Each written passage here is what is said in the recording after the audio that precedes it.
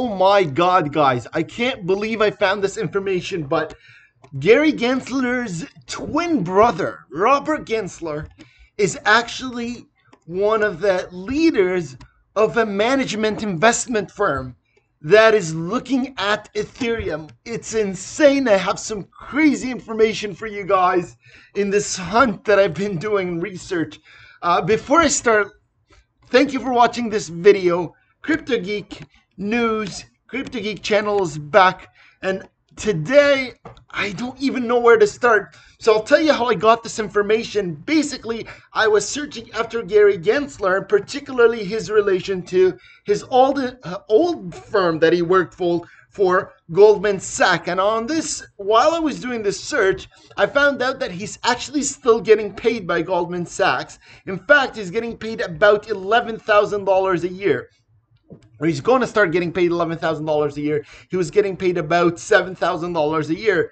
This, while looking through that, I actually ended up finding a very important piece of information here that's led me to the rest of the crazy stuff I'm going to that Gary Gensler himself admitted that his biggest investment, right, revealed his biggest investment is in T. Rowe Price, and that's an asset firm, asset firm, uh, and that's invested that has about 1.6 trillion dollars from retail investors and institutional investors. So then I got thinking to myself, let's look at this T. Rowe Price uh, investment firm that Gary Gensler is so interested in. And what I found out was they were a firm, an American company, and they, in fact, had assets or invested about 1.52 trillion dollars. In fact, I also find out, let me look back. When I searched about this company a bit further, I found out that the lead portfolio manager for Rowe is guess who? Robert Gensler. Now I'm like, who's this Robert Gensler? So then I did a quick Wikipedia search. Robert Gensler is actually Gensler's identical twin brother. In fact, if you go to find out a bit about him, you will find there's a beautiful picture of him. He looks identical to Gary Gensler. That he is now the vice president of T. Rowe Price Group. So this is an investment firm again that Gary Gensler has the vast majority of his money invested in. In and when I did his portfolio search, guess where it showed up? For TD Bank. And you can see when I did a bit of search for at TD Bank and their investment firms that they use, one of the main ones is T. Rowe Price. Now I'm like, let's take a look at T. Rowe Price, T. Rowe's price and what they are invested in. So then you get in, and I, there's a big article that they had wrote as to their belief into what cryptocurrencies are going to be uh, last. And look what they discuss specifically in this article.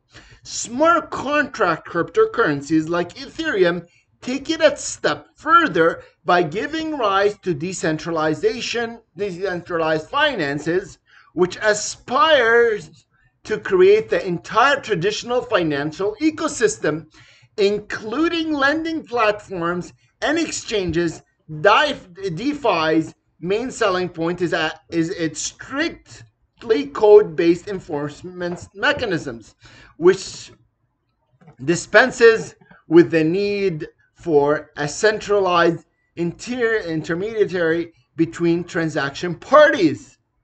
So they look at two particular cryptocurrencies, Ethereum and Chainlink.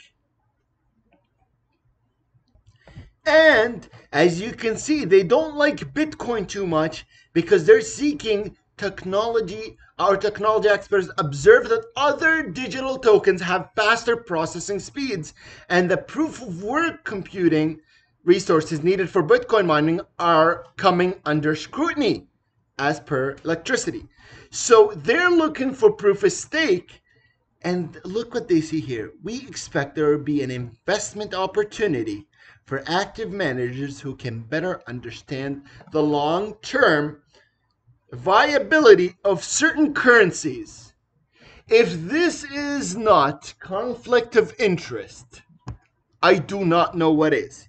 You have your brother working for an agency that deals or is invested by banks, so obviously they're not going to want institutions that are going to destroy banks like Ripple. They're not going to want those cryptocurrencies. And when you look at the investment and what they're looking at, they want Ethereum, and they've mentioned that clearly.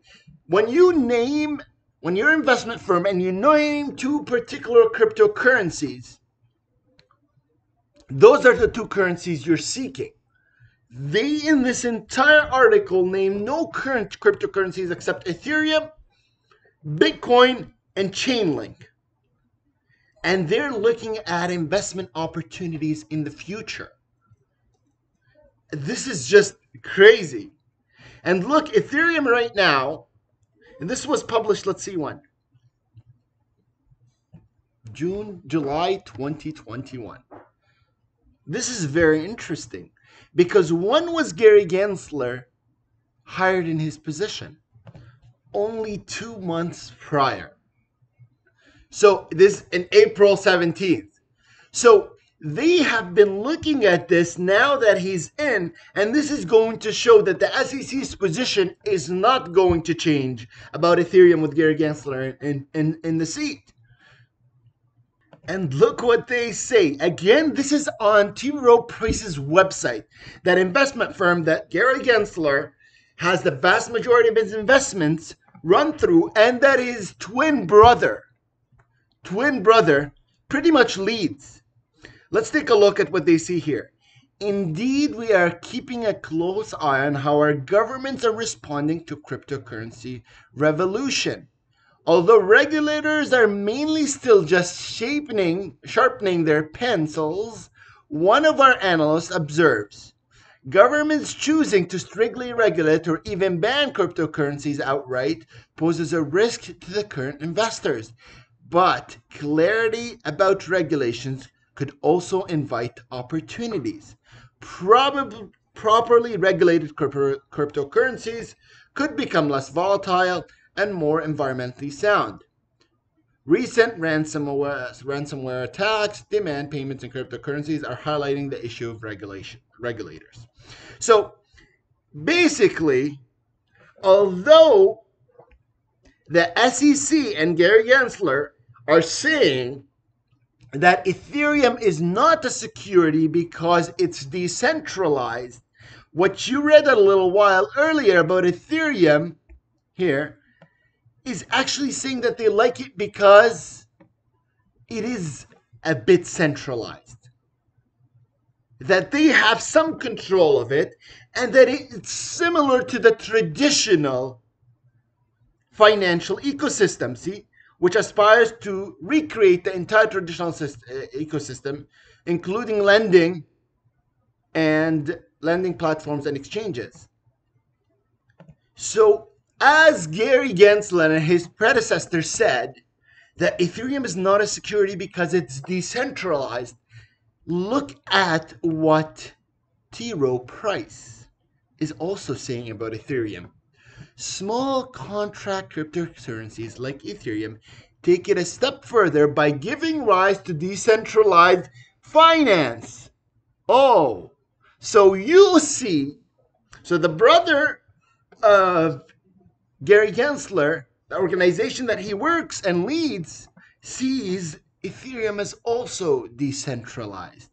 Oh, and they are looking, as you can see clearly, at potential investment opportunities for those that those leaders that they have active managers that have a better long-term viability understanding and viability of these currencies.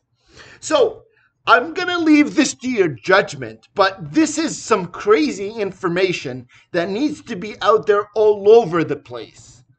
This is, like I said, absolute conflict of interest for Gary Gensler investing in a firm or through a firm that his brother is the vice president of and that is looking at Ethereum as a non-security from their own lens. You know, if you're saying it's completely decentralized and it's the only two cryptocurrencies that you mentioned, Chainlink and Ethereum, then obviously you're looking at those cryptocurrencies. Otherwise, you've just mentioned the general name of cryptocurrencies. And the deal with banks. So why would you want to hurt banks through a, you know a decentralized a non-cryptocurrency like Ripple, which takes over you know a big role of, of the banks, and that's so invested in stocks. So when you look at cryptocurrencies, they are obviously taking a chunk from the stock market. Those investments that would have potentially gone to stock market and now going to cryptocurrencies, which again is hurting the benefit or the profit that this uh, investment group, uh, you know, would have gotten. They feel. So this is absolutely crazy information. I hope you guys enjoy this video. It takes a lot of digging and a lot of time to find this stuff. So if you enjoy this type of content, please, please, please click that like button. And if you're not a subscriber, please make sure you subscribe and I'll keep you updated with the latest information. My Twitter is Crypto Geek News, so make sure you share this video like crazy on Twitter. Let's get this seen, and perhaps this can make a difference even in this lawsuit against Ripple from the SEC trying to hurt all of us XRP investors that really before this had, you know, we didn't care about Ripple before this. I, you many of us didn't even know Ripple existed, but look at us now. We're having to fight just to gain some access, fair access, and hopefully make some gains like the rest of the cryptocurrency market. Um, but again, I hope you enjoyed this video. Make sure you click that like button, subscribe, and if you found this crazy, make sure you leave a comment in the comment section. Let me know what you think. Hope you enjoyed this video. See you in the next one.